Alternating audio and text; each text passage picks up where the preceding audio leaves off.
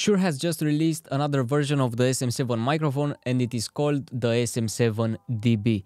But do you really need the SM7DB and which type of creator is the SM7DB for? Let's find out.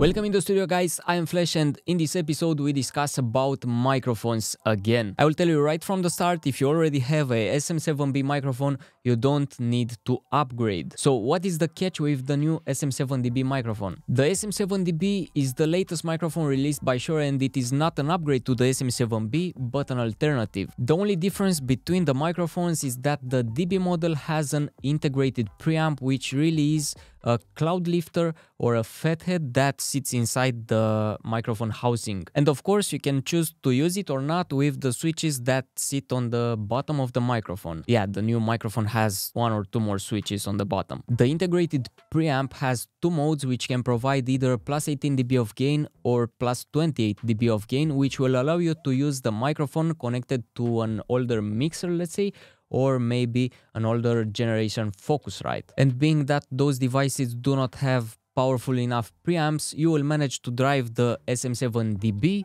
by using phantom power and its internal uh, preamp. So let's rewind a bit to the part where I've said that if you already have a SM7B microphone, you don't need to upgrade to the SM7DB. Chances are that if you already have a SM7B microphone in your audio setup, you've somehow managed until now to get a good signal out of the microphone. So you might already have a cloud lifter, which I currently use in my audio chain, or maybe you have a fourth generation Focusrite 2i2 which can handle the SM7B with no problem because it has a lot more powerful preamps than the older generations. And let's not forget about the newer devices from Rode, which I currently use right now to record this video, like the Rodecaster Pro 2, which are some pretty popular devices in the creators setups nowadays. And they use the Revolution preamp, which is pretty good and it can provide a maximum of plus 76 dB of gain. So if you have one of these, you shouldn't even think about getting the SM7DB. But here are three situations where you might consider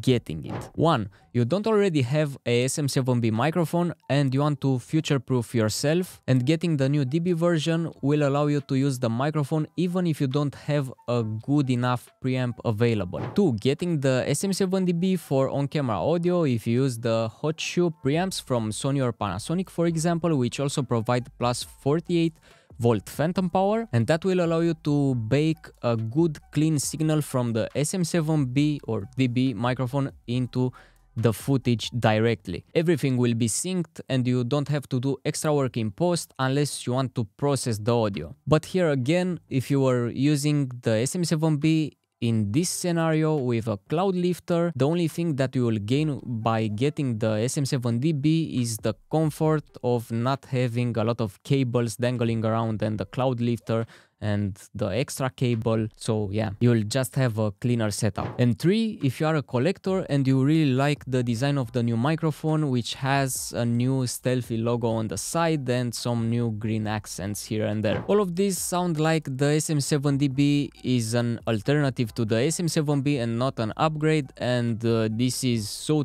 true because uh, it really is the same microphone but it has just the cloud lifter inside its housing. The price difference is 100 US dollars so I think it is fair. A very big pro in my opinion is that the preamp sits inside the microphone housing so it is very close to the microphone and it will not amplify other noises that will be picked up by the cables or other noises generated by the devices in your studio like RGB lights, Wi-Fi routers and so on. This is my SE Electronics Dynamite DM1 which is a preamp like the FetHead but is uh, a bit thinner and it looks better in my opinion. I've uh, covered it in black uh, electrical tape and it provides 28 dB of gain and the audio engineers will agree with me that the best way to use a similar preamp will be to have it plugged in right into the microphone or very close to it because it will amplify also the noises that are picked up by the cable. These things do their job pretty well but they are not the best preamps on the market so